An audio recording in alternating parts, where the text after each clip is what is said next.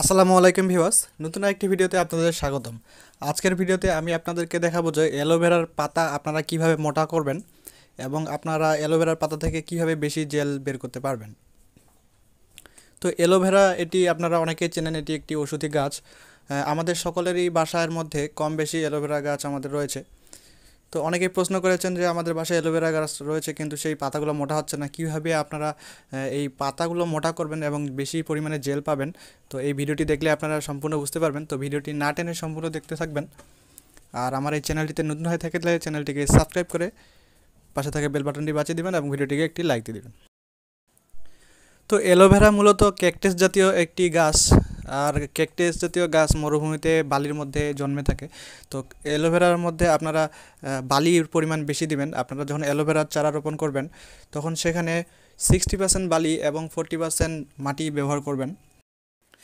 আর aloe vera গাছের মধ্যে বেশি ঘন ঘন পানি দেওয়া যাবে না। যেহেতু এটি ক্যাকটাস জাতীয় বা বালির মধ্যে থাকে, তো অল্প পানির মধ্যে এটি সার্ভাইভ করতে পারে। যখন দেখবেন মাটি একদমই শুকিয়ে গেছে, তখন আপনারা সেখানে পানি দেবেন। তো আমরা এখানে অনেকগুলো অ্যালোভেরা দেখতে পাচ্ছেন, যেগুলো আমি ছোট ছোট বিভিন্ন টপের মধ্যে লাগিয়েছি। তো এই এই অ্যালোভেরাগুলোর গ্রোথ তেমন একটি ভালো নয়। দেখতে পাচ্ছেন যে একটি টবের মধ্যে দুই তিনটি করে গাছ রয়েছে।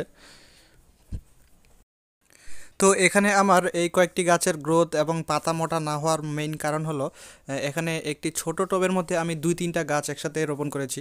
তো এটি আপনারা কখনোই করবেন না। এখানে দেখতে পাচ্ছেন আমার একটি টবের মধ্যে চারটি গাছ আছে। তো পাতাগুলো দেখতে পাচ্ছেন অনেকটা চিকন আর গ্রোথ তেমন একটি ভালো নয়। এই পাতাগুলো দেখতে পাচ্ছেন ছোট ছোট। তো মোটামুটি ভালো বলা চলে। আর এখানে দেখতে পাচ্ছেন একটি বড় বালতির মধ্যে অথবা একটি বড় টবের মধ্যে আমি শুধুমাত্র একটি গাছ রোপণ করেছি। এবং মাটির পরিমাণও আমি ঠিকমতো দিয়েছি ফোরটি পার্সেন্ট বালি সরি সিক্সটি পার্সেন্ট বালি এবং ফোরটি পার্সেন্ট মাটি।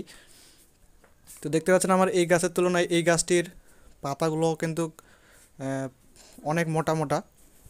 আর এগুলো জেল কিন্তু অনেক পরিমাণে থাকে। তো দেখতে পাচ্ছেন এখানে পাতাগুলো অনেক মোটা মোটা আছে। আর পাতার মধ্যে যে কালো কালো দাগ দেখতে পাচ্ছেন, তো এগুলো একটি ভাইরাসজনিত রোগ। তো এই রোগটি কীভাবে দমন করা যায় সেটি সম্পর্কে একটি ভিডিও দেওয়া আছে আমার চ্যানেলে। আপনার চ্যানেলে দেখে আসতে পারেন। আমি লিঙ্ক ডিসক্রিপশন বক্সে দিয়ে দিয়েছি। তো আপনারা পাতা মোটা করার মেইন যেভাবে আপনারা পাতা মোটা করতে পারেন, তো আপনাদের গাছ যদি ছোট টবের মধ্যে থাকে, তাহলে সেই ছোট টবটিকে সরিয়ে আপনারা বড় একটি টবের মধ্যে দিবেন। তাহলে দেখতে পাচ্ছেন যে আমার এই গাছটির মতো পাতাগুলো মোটা মোটা হবে। আরেকটি কথা আপনারা যখন বড় টবের মধ্যে দিবেন, তখন দেখবেন যে নিচের অ্যালোভেরা গাছের নিচে থেকে আরও ছোট ছোট চারা বের হবে। যেমন আমার এই বড় গাছটির হ্যাঁ একদম নিচে দেখতে পাচ্ছেন যে ছোট ছোট আবার চারা বের হয়েছে। তো এই চারাগুলোকে কিন্তু রাখা যাবে না। আমি এই যে ছোট ছোট টবগুলো দেখালাম, সেখানে কিন্তু চারা বের হয়েছিল এবং সেই চারাগুলোকে আমি তুলে ফেলিনি। যার ফলে সেই চারাগুলো আবার বড় হয়ে গিয়েছে এবং সেখানে দুই তিনটি গাছ একসাথে হয়ে গেছে এবং মোটা হয়নি। তো এই চারাগুলোকে আপনারা তুলে ফেলবেন। এখানে বড় গাছের নিচে যে ছোট ছোট চারা বের হবে, সেই চারাগুলোকে তুলে আপনারা চাইলেও অন্য আরেকটি টোপে রোপণ করতে পারেন। তো এগুলোর ফলে নিচে যখন ছোট ছোট চারা তৈরি হয়, তখন এই পুষ্টিটি কিন্তু এই ছোট ছোট চারাগুলো খেয়ে ফেলে। পুরো পুষ্টিটি কিন্তু তার অ্যালোভেরা গাছের মধ্যে যায় না। যার ফলে পাতাগুলো চিকন চিকন থাকে এবং অ্যালোভেরার জেলটাও কিন্তু খুব কম পরিমাণে থাকে। তো অ্যালোভেরার পাতা মোটা না হওয়ার প্রথম কারণ হলো ছোট টবের মধ্যে অ্যালোভেরা গাছ রোপণ করা।